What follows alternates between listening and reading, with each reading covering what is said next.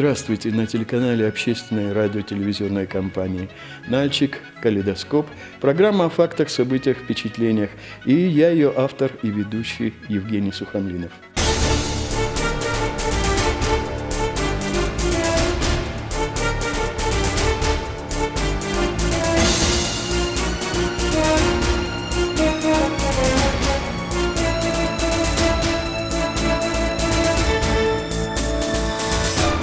В сегодняшнем выпуске вы увидите. В рубрике «Дела давно минувших дней» вы встретитесь с доктором исторических наук профессором Мадиной Тикуевой. А завершит эфир фильм «Ученый, политик, организатор» Петр Иванов. Надеемся, что эти телевизионные материалы вызовут у вас интерес. Оставайтесь с нами и смотрите «Калейдоскоп».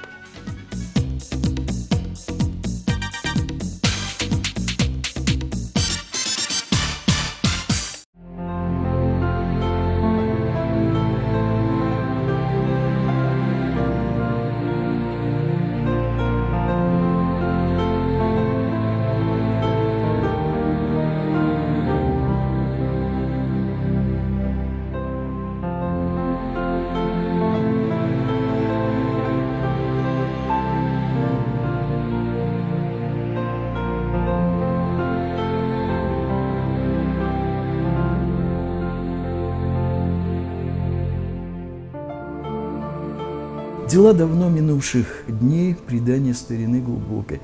Под этой рубрикой мы встречаемся с учеными-историками, которые рассказывают нам о прошлом, о каких-то исторических интересных событиях. И мне сегодня очень приятно представить э, ученого-историка, доктора исторических наук, профессора Кабардино-Балкарского государственного университета Мадину Анатольевну Тикуеву. Мадина, я очень рад, что вы откликнулись на нашу просьбу э, поучаствовать в нашей программе. Э, дело в том, что вот завтра День памяти адыгов уже отмечают ну, приличное количество времени. Э, и я бы хотел, чтобы об этой дате вы рассказали. Спасибо за приглашение вам. И э, дата очень действительно грустная и э, трагическое, да, не просто грустное, а трагическое, драматическое, полное м, событий, связанных с такими переживаниями личными и общенародного характера. Отмечать эту дату э, приходится потому, чтобы э, люди помнили, помнили о героической борьбе за независимость, помнили о исходе этого вот э, длинного очень события Кавказской войны. И э, встречаясь 21 мая каждый год, мы э, чтим память тех, кто погиб в этой борьбе за независимость, и э, мы пытаемся молодежи передать э, исторические знания. Я бы хотела сказать о том, что э, постоянная вот такая вот трагическая нота, она вносит депрессию в настроение и в, вообще в состояние этническое. Поэтому я считаю, что в конечном итоге видеть нужно перспективы э, позитивные. Видеть нужно то, что народ выжил, несмотря ни на что.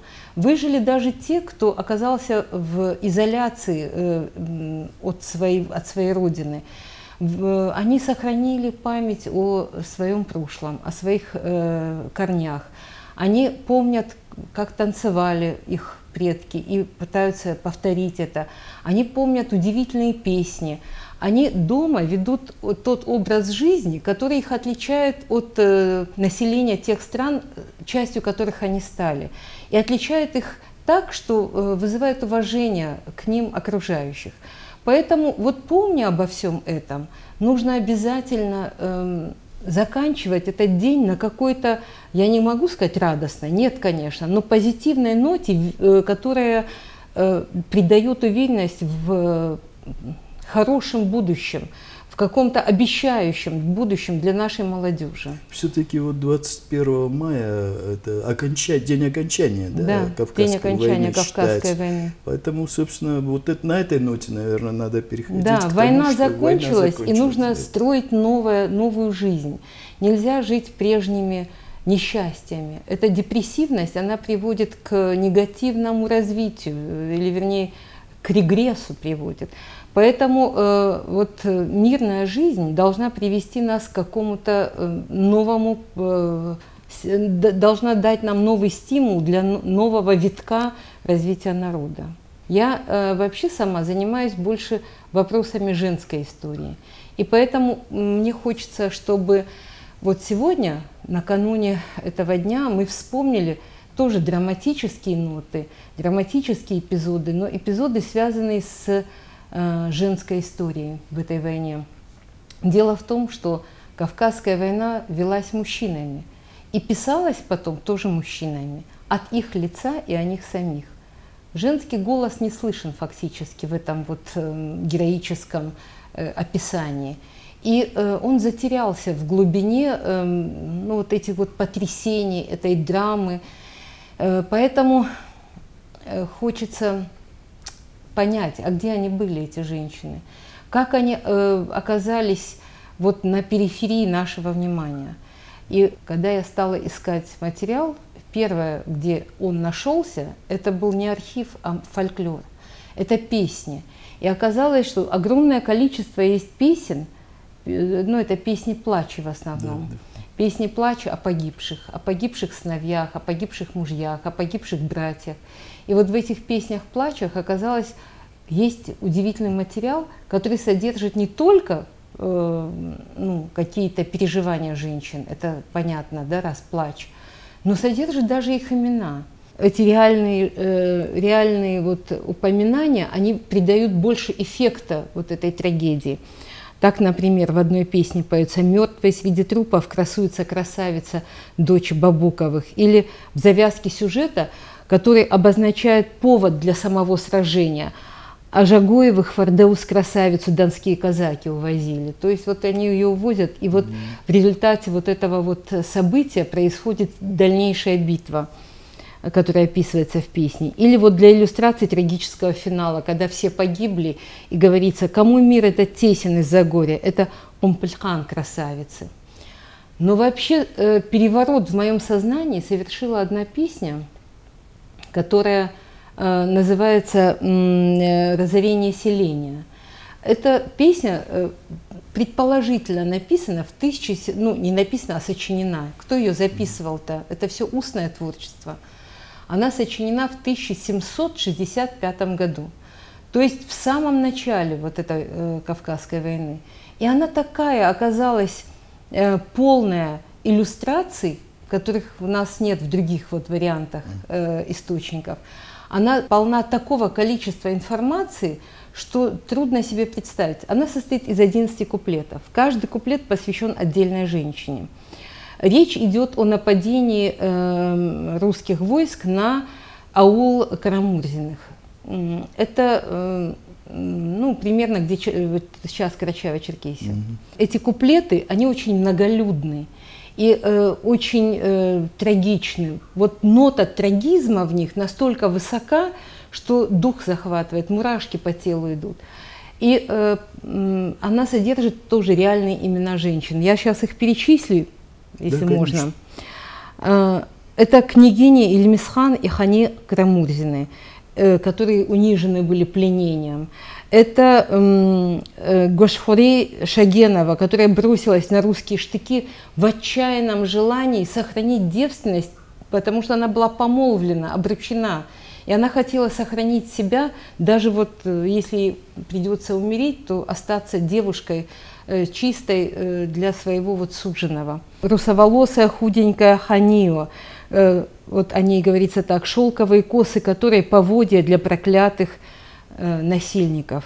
Это мать двух маленьких девочек, красавица Гура, которая потеряла сознание, борясь за свою честь. И про... Э, там вообще удивительный момент содержится, как она проклинает своего мужа, который не смог ее э, защитить. защитить да. Она, помимо этого, это пожилая княгиня Шархуана, которая бесстрашно вступила в бой с врагами, потому что ей уже не жалко было своей жизни – Э, в, в защите вот жизни тех, кто молод, кто вообще э, заслуживает еще долгих лет.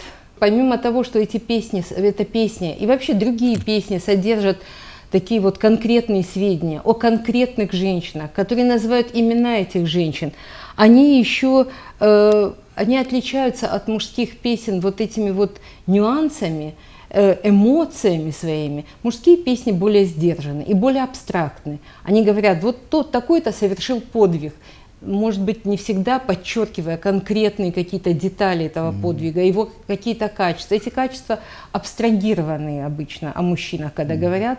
Ну, как-то вот э, общие эпитеты такие принятые в устном народном творчестве употребляют. А здесь видны индивидуальные какие-то истории.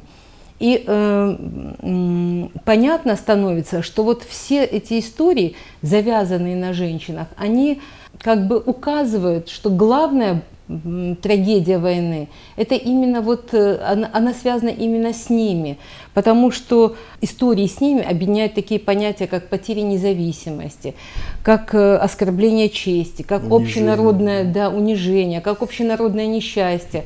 Вот именно за это, за то, чтобы не было такого с, с женщинами, с сестрами, с дочерьми, и вступали в борьбу с захватчиками адыги. Вот такие вещи надо вспоминать тоже наряду с э, общим ну, пафосом этого трагического события. Они еще вот эти песни говорят и, э, опять же, называя их конкретно, э, говорят о мужчинах, которые сражались храбро. Это, например, храбрый Жабагитаов, золотой наш Хаджин Артыжев, старший Шумаху Шагенов, меньшой Тутука Бараков – Особенно отличается доблесть Исмаила Атлискирова, который смог э, защитить, отбить свою жену вот во время этого нападения, несмотря на то, что обе его руки были прострелены, но он все равно, размахивая своей шашкой, он разбросал врагов и спас свою жену. Удивительная история. Есть в этих песнях такие антропологические детали, которые нам так важны, историкам важны, да и всем, кто хочет сохранить память становится понятно, в чем они были, эти девушки. На них были э, шелковые шаровары, которые рвались грубыми э, сапогами, грубым носком сапога врага. На них были э, шелковые бешметы, которые, э, над которыми тоже надругались. Они говорят о том, что э, э, э, коншиба – это такой корсет, э, который носили женщины до замужества. И снимать их нужно было э, жениху только в первую брачную ночь. И вот они говорят, Софьяновые коншибы, а Софьяновые, значит, ну, э, эти коншибы пуженые были. Софьяновые коншибы на груди у нас рвут штыками. Снимать бы их юным горкам урочной ночью брачной. Вот, вот даже вот в таких деталях сразу э, восстанавливается как картина да, повседневной и мирной жизни. Мирной, которая была до этого, и с которой сравнивается тот ужас, который происходит во время этих описываемых событий. Вот эта Гура, она меня особо потрясла. Та, э, та женщина, которая является матерью, матерью двух маленьких девочек, и она смогла на 250 лет – заклеймить презрением своего э, мужа, который укрылся в горах во время этого нападения. Вот 250 лет прошло после этих событий, mm а мы все так же его презираем. Она говорит, кто был мне как крепость, то есть муж ее, укрылся в горах Андруга. Это младший Али Каншаов. Двух девочек малолеток от груди моей оторвали. Лучше бы мужу моему сгинуть в тот день, как меня раздели. Когда жили мы еще вместе, щеголял он тесьмой серебряной, а когда нас брали геуры, в бою его не было видно. Вернешься, трус рыжеусый, не вернешь ты красавицу гуру. Шелк моего бешмета в ошметке порвали штыками. Если б я не упала без памяти, живой бы меня ты не увидел.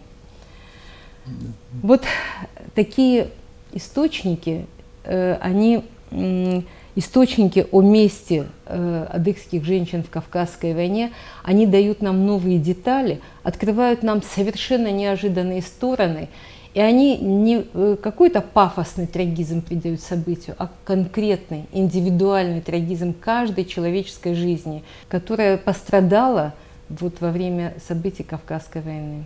Все-таки вот э, героический эпос о женщинах – нартского эпоса, да, вот это идет там, это э, там Даханаго, и, э, Сатаны, Адиюк, да, да. И Лашин, Маличип. Много примеров героических женщин на Кавказе, даже, скажем, порту Патима, это в Дагестане, да, да, да. которая возглавила тоже освободительное движение да, да. Э, в войне. И э, действительно, вот об этом мы мало знаем. Я думаю, что поведать нашим зрителям об этом тоже следует. И в нашей следующей встрече, я думаю, мы расскажем тоже что-то интересное, правда? Ну, а все-таки надо сказать, что эти события происходили действительно дела давно минувших лет, когда царское самодержавие да. Воевало здесь и, собственно говоря, и те люди, которые со стороны царской России здесь не, э, не могли, многие не могли этого терпеть и смотреть на это. И тому примером тоже литература, это и Лев певец, Толстой, и певец Лермонтов. вот этой вот э, да. свободолюбивой борьбы черкесов за свободу является русский поэт, великий русский поэт Лермонтов. Да, Лермонтов. Да, об этом писал Пушкин. Об этом да. писал Лев Толстой. Да. Э, этому посвятили многие э, страницы Классик, своих записок да. э, декабристы, которые оказались на Кавказе, для того, чтобы здесь легче на, могли найти свою смерть. Да. Э, Кавказ это вот для русских передовой, передовой русской мысли – передовой русской культуры XIX века, XVIII даже и XIX века был источником вот этого свободолюбия и примером этого свободолюбия. Э, это вот так же, как Байрон поехал в Грецию воевать да, да, за да, да. их свободу, точно так же они здесь видели себя в роли, э, ну, может быть, они были на стороне другой армии, но они э, были объективны. Они смогли вот эти детали – Э, э, этих событий, подчеркнуть и донести до нас, до, до сегодняшнего дня. Их роль оказалась значительнее, значи, э, более значительной, чем роль вот простых бытописаний, простых описаний событий. Не зря же вот лучших тогда это в качестве наказания отправляли на да. Кавказ. То есть, возможно, он оттуда не вернется. Того да, же Лермонтова. Да, да, для этого и Да и Пушкина да. сослали сюда. И, в общем-то, Э, свобода мысли тогда не приветствовалась, это был режим жесткий, царский. Да. Ну и, собственно говоря, я думаю, что э, уроки истории надо помнить, не наступать повторно на грабли, да? как да. это иногда происходит. И, собственно, всегда лучше жить в мире, чем в войне. Абсолютно. По поводу жить в мире можно тоже привести примеры того, как женщины оказывали э, являлись регуляторами мирных взаимоотношений или укрепления мирных да, взаимоотношений. Ну, по поводу установления этих мирных отношений можно сказать, что любой спор и любая драка, любая ругань должна была прекратиться просто в присутствии женщин. Да. А если запал зашел далеко, то стоило ей обнажить голову, э, снять с нее платок. Не обязательно его бросать там в, да, в толпу, да. а снять просто этот платок. И э, должна, мужчины должны остановиться были. Не знаю, приводить ли примеры конкретные, потому что... Ну, а почему бы и нет? Ну, собственно говоря, сейчас мы это видим вот э, в танце, например, танец саблями, там у нас кавказский, женщина кидает платок, и они как бы уже заканчивать свой конфликт. Да? Ну, так же, наверное, происходило и на самом деле. Но я думаю, какие-то детали... На самом деле происходило все интересней. Потому что э, вот так вот какая-то девочка вбежать в круг и кинуть туда носовой платочек, э, это, ну, не, не, ну, наверное, не произвело бы того впечатления. Иное дело, если вот женщина взрослая, имеющая детей, имеющая авторитет э, в том селе, где она живет, э, она подходит к этому вот кругу мужчин и, э, обнажая свою голову, напоминает им об ответственности их за жизнь других и за жизнь в том числе э, женщин. И э, я располагаю вот таким конкретным случаем, я его часто привожу, каюсь, но он настолько живописный, этот случай, что я не могу о нем не сказать. Рассказывала мне о нем конкретная э, дочь той женщины, женщины, о которой пойдет речь. Ее звали э, Теохан Блиева, а ее маму, которая вот участвовала в этих событиях, звали Заза Блиева. Ну, она замужем за Блиевым была. И вот э, дело происходит во время гражданской войны в селении Угошокой, то есть современный Урух, современное название селения Урух. В село после красных вошли белые, и э, начался белый террор. И вот э, э, приговоренных казни ведут на площадь, должны привести на площадь на завтра сельскую. И вот э, накануне этого в дом к Зазе Блиевой приходит э, брат одного из э, осужденных и просит ее, говорит, в твоем доме дом богатый, и в твоем доме Заза, говорит, он останавливается, не к мужу ее обращается, вот что еще важно, uh-huh. а к ней. И говорит, что в твоем доме останавливались и красные, теперь остановились белые, ну, кадеты их называли, да. кадеты теперь остановились. Mm. Мой, мой брат, в чем он виноват? Он боролся за счастье народа, пытался бороться, там еще особо и не успел он ничего. Э, заступись за него, скажи свое слово вот начальнику кадетов, командиру кадетов. И Заза ему пообещала. Но не в этот вечер, не на следующее утро она ему ничего не говорит. Она просто одевается в э, такое торжественные, в торжественной одежды, надевает на себя большой белый платок, выходит на эту площадь, на которую уже привезли приговоренных к казни, и просто встав на площади этой, она легким таким движением этот платок спускает с волос. И он падает у нее с плеч, и все, казнь была остановлена. Mm-hmm. Потрясающая история, мне кажется, это, которую переступить через этот обычай не смогли даже э, жестко воюющие два противоположных лагеря. Примеров тому, как женщина э, умиротворяет целые аулы или там две воюющие стороны. Об этом много разных преданий существует. Опять же, вернемся к фольклору. Есть такое предание о том, как убыхи и э, э, абхазы очень долгое время э, воевали друг с другом. Ну, это была, может быть, не война, а это была борьба за власть, за влияние. И э, настолько э, это тревожило э, обе стороны уже, что остановить не могли, потому что кровь несет, ведет за собой следующие обиды, да. следующие месть последующую, и э, она не имеет конца. И тогда э, они решили, вот старшие с обеих сторон, они договорились, и на правый берег реки Псоу, там есть такое большое э, пространство пустое, э, они э, привезли по 500 человек от, из аулов Э, убыхских и из аулов э, абхазских. Но что удивительно, что это были только женщины с младенцами, mm-hmm. грудными младенцами, которыми они с завязанными глазами да, вынуждены были обменяться. Mm-hmm. И война сразу прекратилась, потому что твои дети на той стороне. Mm-hmm. Это понимают мужчины, но умиротворяют-то женщины. А есть и не только фольклорный материал, есть еще и вполне исторический материал, записанный еще в конце XIX века Амчека Шамгуев. Он рассказывал о том, как э, устанавливали братство между двумя э, общинами или между двумя этническими группами. Ну, вот адыги делятся же на многие да. этнические группы они устанавливают братство для совместного ведения каких-то действий. Э, ну, может быть, военных, а может, не обязательно военных, но там, где братство это есть, уже э, э, как бы постережется и враг против них идти. То есть они усилены, их войска, их ополчение усилено. И как это делается?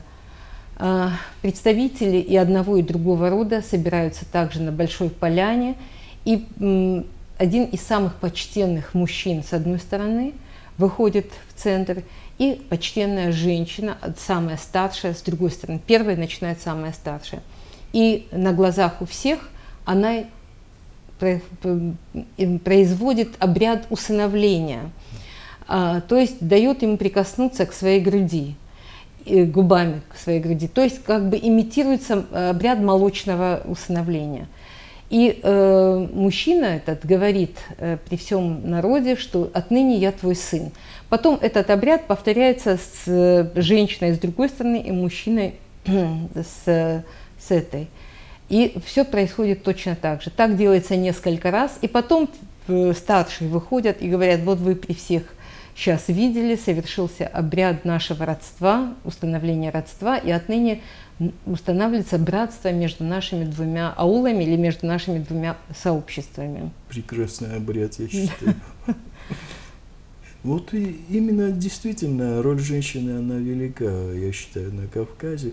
Хотя, в общем-то, по Хабзе, да, это женщина должна знать свое место все-таки, да? Да, это патриархальное общество. Да, патриархальное, как, как бы мы это не э, обсуждали и не хотели бы представить, общество вполне патриархальное. Ну, это удивительные, конечно, факты, которые вы привели сегодня нам. И, собственно говоря, вот Э, на мой взгляд, э, для этого и надо изучать историю, чтобы знать какие-то детали. Единственное, ее нужно оценивать объективно, на мой взгляд, потому что некоторые историки ее лопатят, будем говорить, э, в свою сторону. Ну, бывает такое. Да, это, это называется субъективизм, да, который да, абсолютно да, да. недопустим в истории. Да. Мы должны читать субъективные источники. Да, факты. И видеть эти факты, да, видеть их, и, но уметь Эм, подойти к ним с точки зрения научной, да, с точки зрения да. научного, научной объективной точки да, зрения. Да, с учетом того времени, той ментальности, будем говорить так, э, или тех народов, которые э, жили в то время.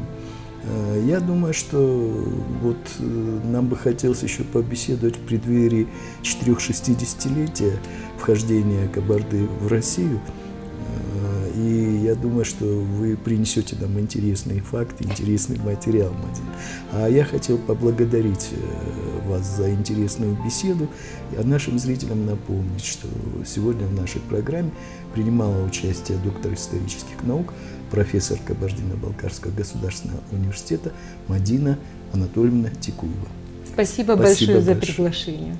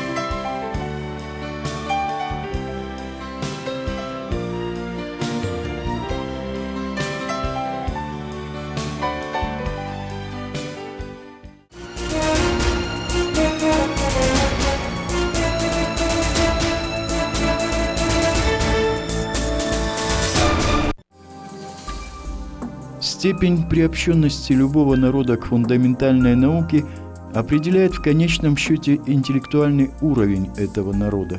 Создав научный центр Российской Академии Наук на своей территории, народ Кабардино-Балкарии стал небольшой, но достойной частью мирового цивилизованного сообщества. Путь к этому положению среди народов нашей планеты лежит только через овладение современной мировой культурой, одной из высочайших вершин которой является фундаментальная наука. Академик Петр Иванов.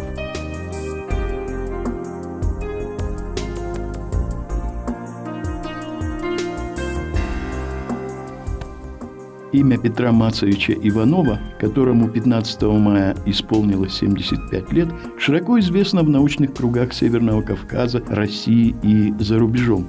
Петр Иванов – председатель Кабардино-Балкарского научного центра Российской академии наук, доктор технических наук, профессор, лауреат премии Совета министров СССР, Заслуженный деятель науки Российской Федерации относится к славной интеллигенции региона и возглавляет авангард ученых Кабардино-Балкарской республики. Петр Мацевич – автор 123 научных работ, 8 монографий и 5 изобретений. Он является специалистом в области информатики, кибернетики, управления и экономики. Петр Иванов родился 15 мая 1942 года в селении Старый Черек.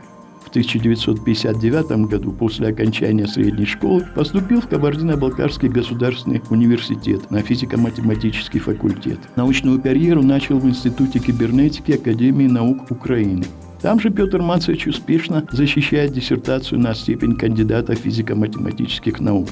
И в Кабардино-Балкарию вернулся уже сложившимся исследователем-кибернетиком. Природный ум, пытливость, целеустремленность, унаследованные им от родителей, воспитание, полученное в многодетной сельской семье, были той основой, которая дала ему уверенность и силу духа для реализации себя в большой науке. Ему пришлось работать буквально не покладая рук в поисках путей и способов выхода из кризиса современного общества, и его труды на этом поприще заслуженно увенчались успехом, что способствовало обретению им достойного имени ученого и позволило приобрести высокий авторитет у широкой общественности. С августа 1973 года Петр Мацевич возглавил вычислительный центр Госкомсельхозтехники КБА СССР, который в дальнейшем был преобразован в Северокавказское проектно-технологическое объединение Севкав Агропром АСУ. За создание первого в СССР АСУ региональной системы производственно-технического обеспечения сельского хозяйства на базе телеобработки информации 1984 году Петр Иванов удостоен звания лауреата премии Совета министров СССР. Как видите, здесь электронно-вычислительные машины третьего поколения со средствами телеобработки данных. Что же явилось причиной появления таких средств увеличения производительности управленческого труда в сельском хозяйстве, в частности в госкомсельхозтехнике? И какова причина возникновения необходимости увеличения вообще производительности управленческого труда в госкомсельхозтехнике. Основными из этих причин являются, на наш взгляд, два факта. Первое – резкое увеличение поставки селу техники запасных частей минеральных удобрений, что породило, в свою очередь, такое же резкое увеличение сложности управления всем этим потоком. Второе – децентрализация ремонта и технического обслуживания по мелким мастерским колхозов и совхозов – на складах колхозов и совхозов в настоящее время хранятся недвижимых запасных частей на сумму свыше полтора миллиарда рублей, что равно двухгодичной норме ремастерских этих хозяйств. Автоматизированная система управления, которая нами создана в настоящее время, позволяет организовать эффективное взаимодействие службы технического обслуживания машино-тракторного парка и решать одновременно управление запасами запасных частей. В 1986 году в Институте кибернетики Академии наук Украины Петр Иванов успешно защитил докторскую диссертацию на тему «Структурно-алгоритмическое проектирование интегрированных ОСУ многоотраслевыми комплексами», получив степень доктора технических наук. В 1991 году Петр Иванов избран депутатом Верховного Совета КБР, где работал председателем Комитета по науке и образованию. В 2003 году указом президента Российской Федерации ему присвоено почетное звание «Заслуженный деятель науки Российской Федерации». Книги и научные труды, написанные им за последние 20-летия, затрагивают ключевые проблемы региона и России, предлагают решение актуальных проблем КБР, акцентируя внимание на сохранении культуры и традиций коренных народов Кабардино-Балкарии и Северо-Кавказского региона. Как хороший знаток народных традиций, обычаев и носитель национального менталитета, он мыслит о перспективе развития трансформации культуры народов, населяющих наш регион, озабочен их будущим и положением в мировой цивилизации. Петр Иванов – основатель и бессменный руководитель Кабардино-Балкарского научного центра Российской Академии Наук, который в настоящее время входит в четыре научных учреждения и новые научные подразделения который объединяет 617 работников, в том числе 285 научных сотрудников, 56 докторов наук и 31 кандидата наук. Общее число докторантов, аспирантов и соискателей более 130 человек.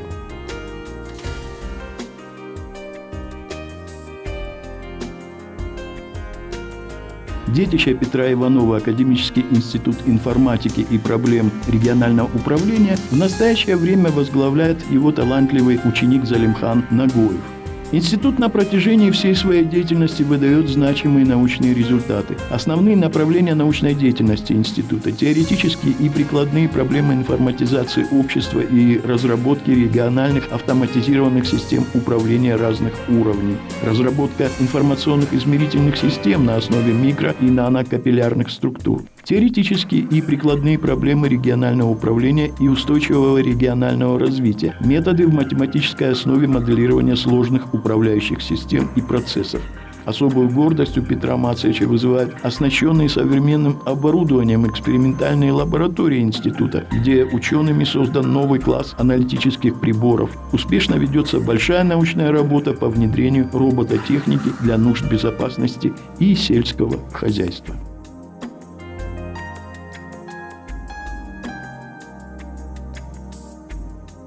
Значимые научные работы в институте сделаны Петром Мацевичем, и их у него более десятка.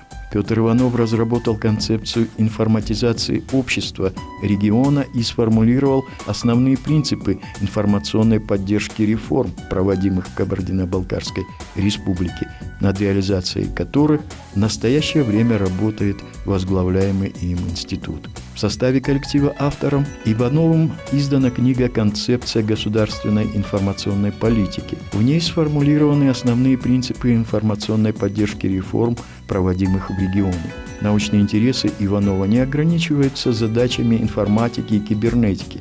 В последние годы предметом его интереса являются также гуманитарные аспекты, проблемы устойчивого регионального развития.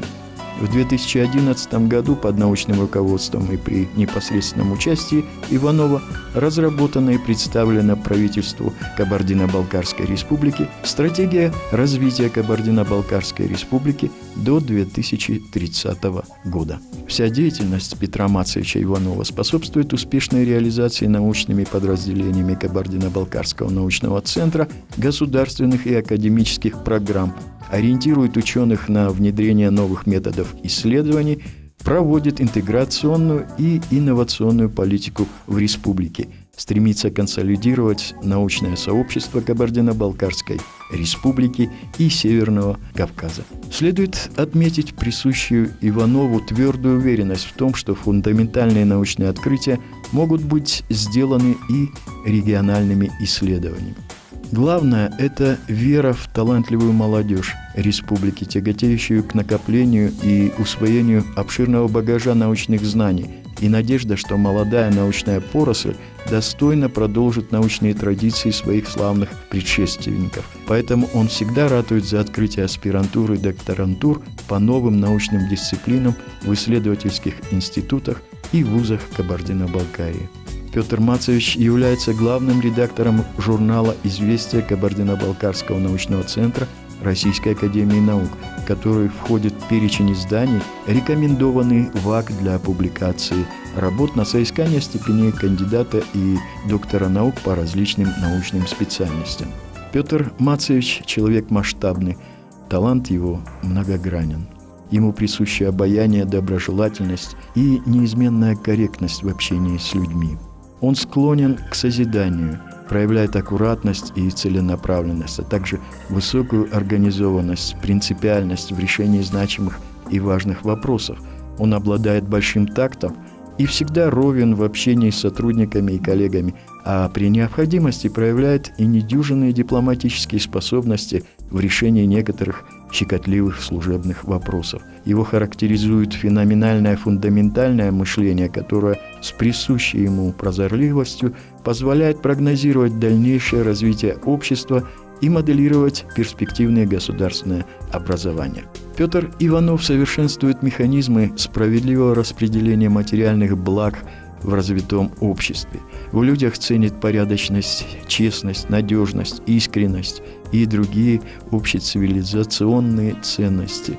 Отмечая организаторский талант и качество выдающегося ученого, нельзя не заметить его политическую прозорливость, широкий интернационализм, беззаветное служение своему народу, родной Кабардино-Балкарии, российскому отечеству, которые наиболее ярко проявились в тяжелые годы испытаний – 90-е годы прошлого столетия, когда едва не вспыхнула гражданская война. Огромный авторитет, которым обладает Иванов, не только в широких научных кругах нашей республики, но и в Российской академии наук вполне заслужен. Об этом свидетельствует и то, насколько считается с его мнением в Президиуме Российской академии наук. Председатель Кабардино-Балкарского научного центра – Российской Академии Наук, доктор технических наук, профессор.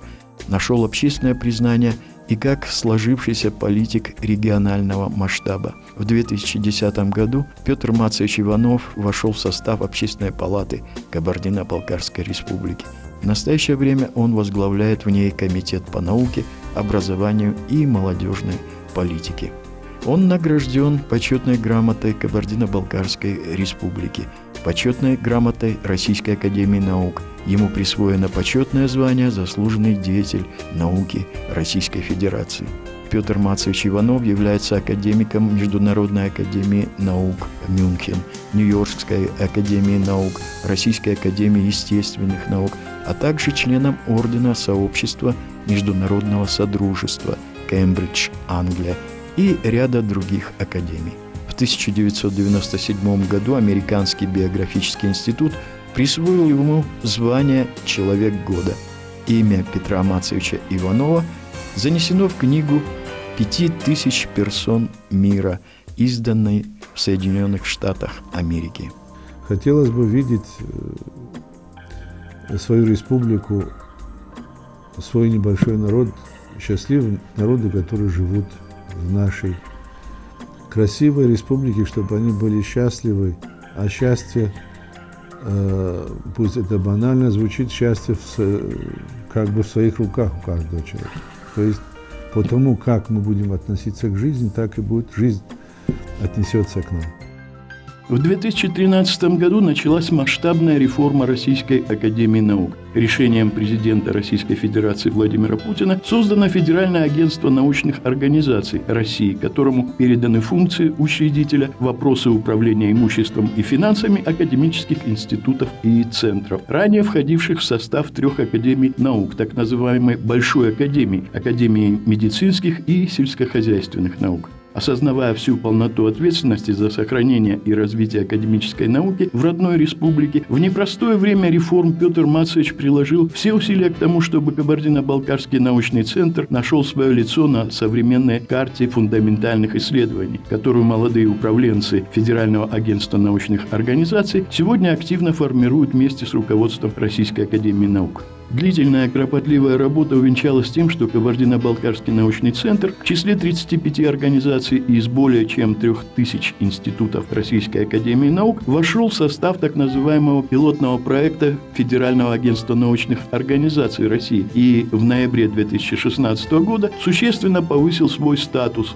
Решением правительства России Кабардино-Балкарский научный центр преобразован в Федеральный научный центр – принята пятилетняя программа развития, направленная на превращение Кабардино-Балкарского научного центра в один из ведущих российских центров производства и трансфера новых знаний в области опережающего развития на основе интеллектуальных интегрированных информационно-управляющих систем. В рамках реализации программы серьезный импульс развития получили междисциплинарные исследования, инновационная инфраструктура, лабораторно-приборная база, материальное обеспечение, кадровый потенциал, международное сотрудничество.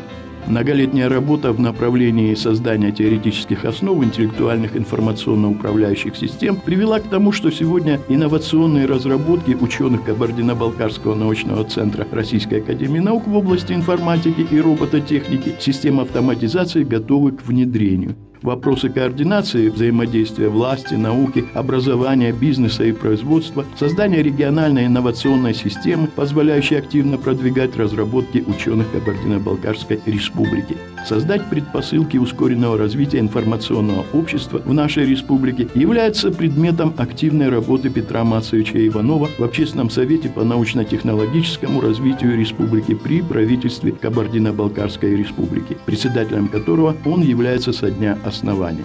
В 2016 году указом главы Кабардино-Балкарской республики Юрия Александровича Кукова за личный вклад в развитие науки и многолетнюю плодотворную деятельность Петр Мацевич Иванов был удостоен высшей награды Кабардино-Балкарской республики орденом за заслуги перед Кабардино-Балкарской республикой.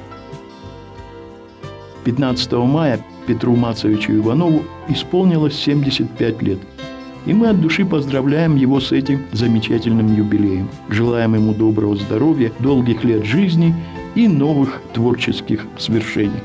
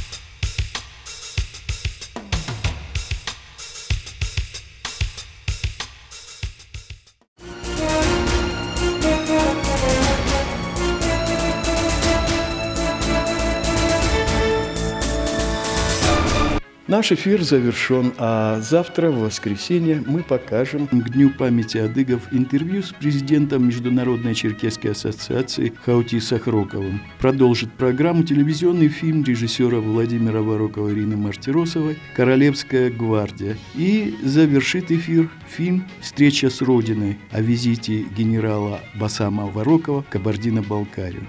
Берегите себя. Всего вам доброго.